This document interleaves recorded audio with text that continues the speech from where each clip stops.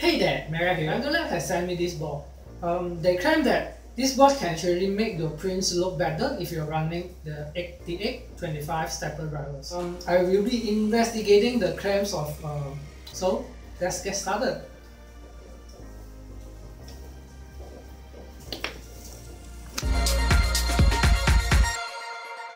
Okay, there was a guy that first discovered the um, missing step issue with the 8825 stepper driver.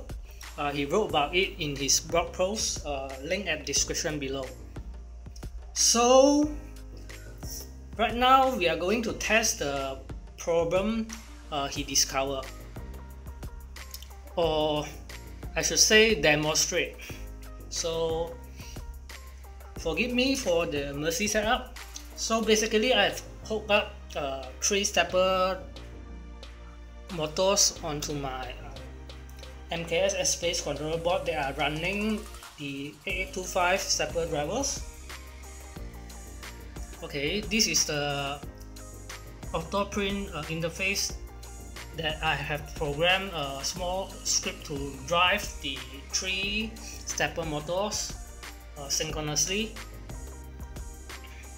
so you will see the jerk um, problem that uh, the guy discovered okay as you can see the zip tie amplify the jerky motion. As you can see the when the motor is turning at very slow speed okay let's try again.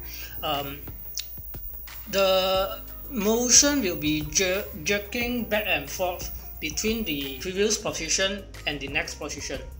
What's supposed to happen is the stepper motor is supposed to able to be able to handle a small microstep very smoothly. It's supposed to turn smoothly without much jerking motion from the zip ties. Alright, I've connected the uh, one of the motor to the uh, diode box and then through the diode box uh, to the stepper driver so yeah as you can see there's no trick here. Okay let's start the OctoPrint uh, let's uh, drive the motors again.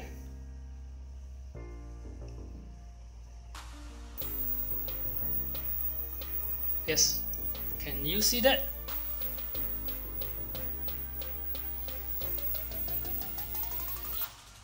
Okay maybe uh, this is not clear enough okay let me try again as you can see the zip ties no longer swing back and forth between uh, the previous and next position that it is supposed to be going. Okay let's try again.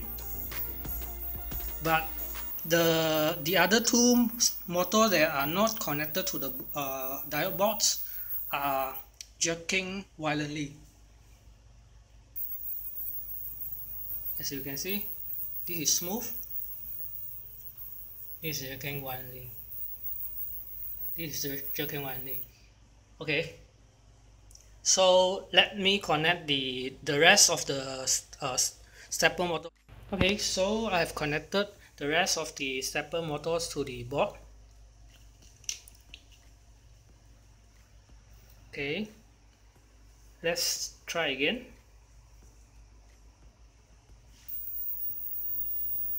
Okay, as you can see, the motion become a lot smoother for all of the stepper motor that are connected to this board. So this is definitely not um, some snake or it this this definitely work. It might be difficult for you to notice the jerky motion that um, this 8825 uh, stepper drivers uh, produces during your print but it's going definitely going to be affecting your print quality. Right, let's take a look at the uh, pictures I've taken. I printed two models with and without the TL smoothing box at install. Links for the model at description below.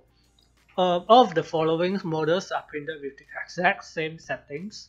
I've took uh, I've took a couple of pictures of my print. First being the pen, uh, the Benchy that everyone's love. This is really a great model to identify issues with your print.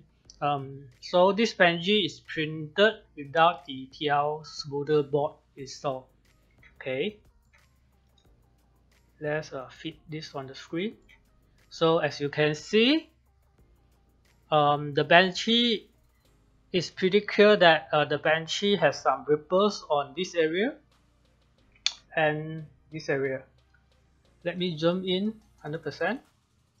As you can see, there are a lot of inconsistency with the uh, lines on the on the body and the front of the benchy. That's the most obvious uh, artifact. Each lines are not completely straight or consistent. So let's move on to the other benchy that I have printed with the, the TL smoother board installed okay this one is the this one is the benchy that I have printed with the TL smoother board installed so you can see that uh, there are no ripples on the uh, this area or the same area of uh, the previous print. And there's no ripples on in front of the benchy as well. Okay let's zoom in as you can see the lines are a lot more consistent there are no artifact uh, no random artifacts on the uh, Benchy with the TL smoother board installed. Okay. Okay, let's move on to the uh, side-by-side -side comparison. The differences are pretty clear here. One has a lot of artifacts and one is almost uh, completely artifact free. So let's move on to uh, the torture test. The a torture test I have designed to make uh, the issue a lot more observable. Uh, the torture test is designed to have reasonable steep uh, slope and curvy surfaces in order to highlight the issues on uh, 8825.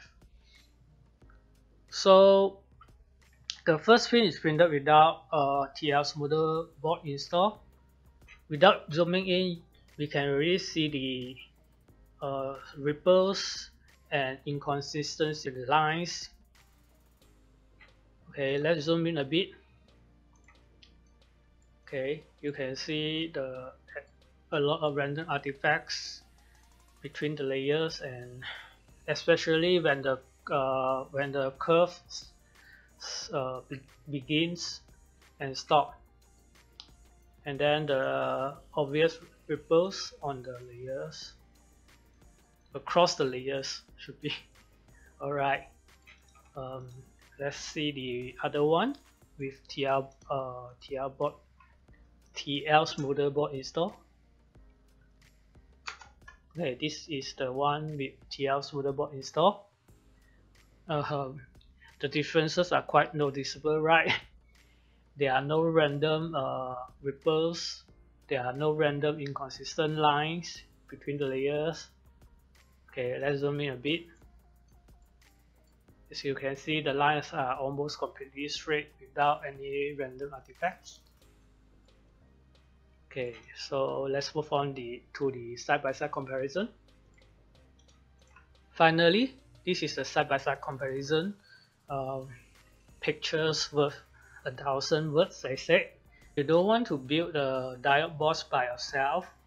You can buy the TL smoother board at the affiliate links at the description below. By doing so, you are also supporting the channel. Thanks for watching guys. Like and subscribe and click the little bell to stay notified when I upload more awesome videos like this. So I'm going to leave you guys staying with this uh, awesome side-by-side -side comparison picture. See you on the next.